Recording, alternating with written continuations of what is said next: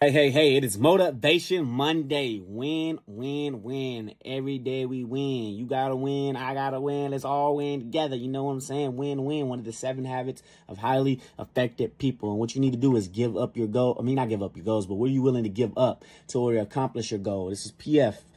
Po folks, P O F O A K S. Po folks is not where we at, it's where we come from. What are you willing to do to make the sacrifice to get to the other side?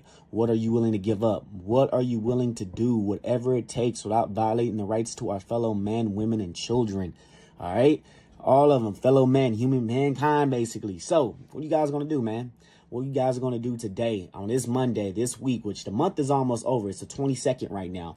What are you going to do? We're 22 days into 2024. What are you going to do today? Are you giving up? Did you give up? Did you quit? Bet not. No quitting. There's no quitting over here. Take action and do now. If you want to know more, follow me for more.